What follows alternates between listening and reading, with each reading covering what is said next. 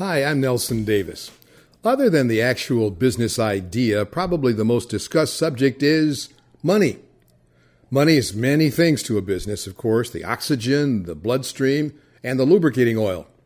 Ultimately, the customers, your product, and your people are the most important elements, but in reality, you don't even get that far without the money. And that's why money dominates any authentic conversation with people who are launching businesses.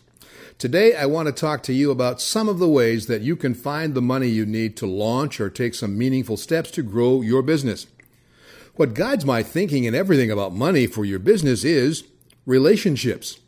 Building relationships well can give you access to the money you need to build your enterprise.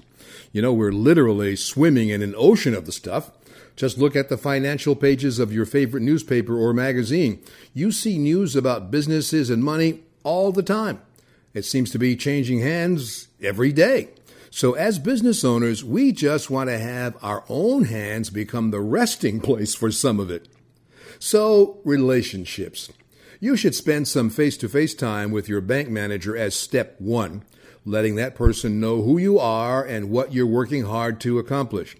At the same time, you should be sizing that person up to determine whether they can believe in you and your goals. See, they can't help you if they don't know you and it's difficult to get money for startup from a bank. The most common place to get money for starting and growing your business is what I call the bank of friends and family. Yes, your Uncle Ned or Cousin Susie should be your first stop if you're looking for funding. Of course, if you haven't spent time nourishing the relationships with those relatives, you'll probably have to look elsewhere. And if you ask your best friend for a business loan, you will quickly find out about the depth of that friendship. One of my favorite approaches to starting a business is customer financing. And I'll tell you what that means. When I wanted to start my television production business to mount the Making It TV show, I tapped into two sources for financing it. First, I dipped into my very own, very modest savings for a couple of thousand dollars, which is the same sort of thing that was done by a Michael Dell or Bill Gates. But what really got me going was getting my first TV show sponsors to help me out with the financing. And here's how I did that.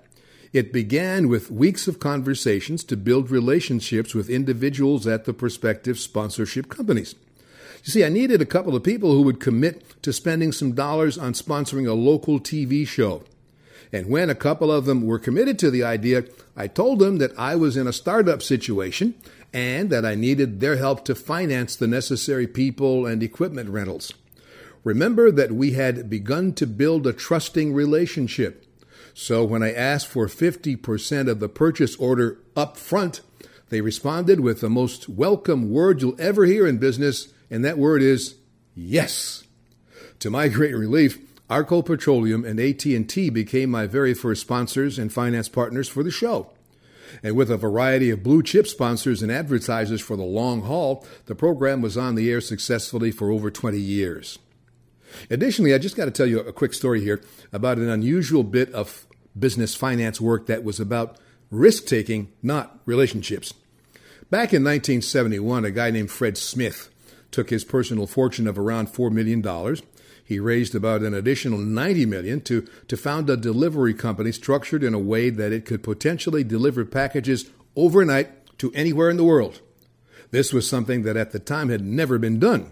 And as you may guess by now, that company was Federal Express. They burned through that money, and Smith faced a week when they didn't have the money to pay the fuel bill for the airplanes. So Smith took his last $5,000 and turned it into $32,000 by playing blackjack in Las Vegas. Now, I don't advise that strategy, but obviously it worked out pretty well for Smith and FedEx. So the primary ways to put the money together include your own savings, friends and family, and customer financing. I've met some entrepreneurs who use credit cards to finance their startups, but to me that just seems to be a sure recipe for too many sleepless nights. For you to actually go swimming in that vast ocean of money that surrounds you, Investing the time to build individual relationships with people who can help and encourage you is one of the most important steps. Those relationships, you must understand, can be more powerful than money.